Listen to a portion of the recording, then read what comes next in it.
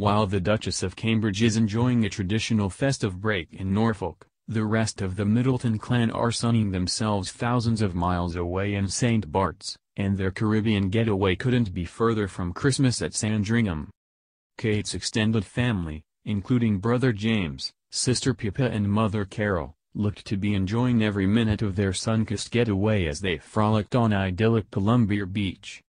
Pippa, 35, was joined by her husband James Matthews, 43, his brother, 30-year-old reality star Spencer Matthews and his wife Vogue Williams.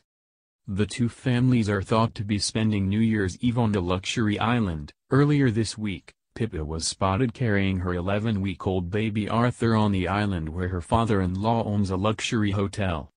Carol, 63, looked effortlessly stylish in rolled-up denim shorts and a light caftan. The mother of three recently told how she still turns to Kate, Pippa, 35, and James, 31, for business advice.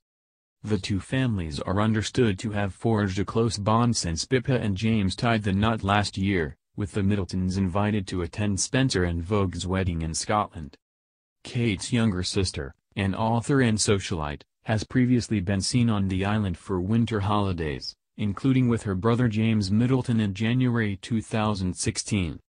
She married James Matthews in May 2017, and their first child, Arthur Michael William, was born in October. The pair lived together in Matthews' sprawling Chelsea mansion, which they renovated ahead of their son's arrival. Their trip to the Americas this week comes after the Middleton family were spotted enjoying a casual lunch at a Berkshire pub on Boxing Day.